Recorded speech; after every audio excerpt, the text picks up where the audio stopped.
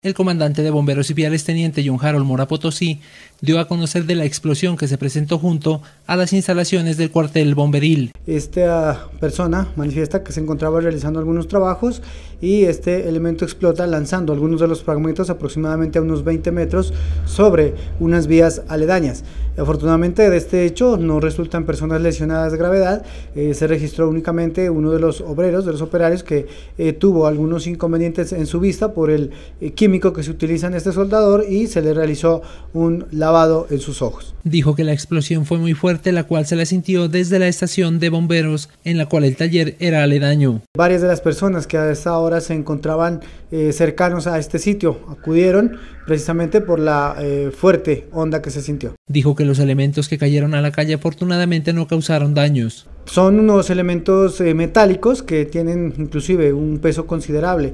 Afortunadamente no eh, pasaba ninguna persona ni ningún vehículo. Estos elementos cayeron en, la vía. Eh, de haber caído de pronto sobre alguna persona, pues las consecuencias pudieron haber sido fatales. Además, el comandante dio a conocer del balance de las lluvias que se presentaron en zona de frontera. En los barrios El Manzano, Los Ángeles y Puente Negrito.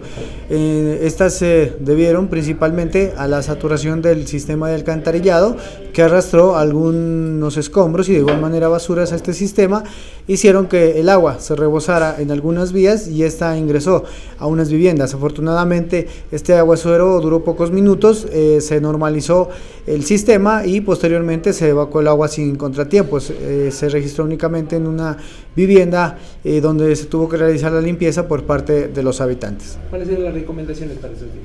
Bueno, continuamos nosotros eh, a toda la comunidad eh, solicitándole que evite lanzar desperdicios a estos sistemas, igualmente a las vías, ya que en el momento de las lluvias la escorrentía arrastra todo esto y hace de que el sistema prácticamente se colapse. Asimismo, eh, se pudo evidenciar en algunos sitios que habían eh, sacado las basuras de sus viviendas esperando al paso del carro recolector. En esto queremos que se haga estas acciones cuando ya los vehículos estén cerca para evitar que estas basuras permanezcan en las vías y que algunos o mascotas eh, derramen estas basuras y posteriormente estas sean arrastradas por las lluvias.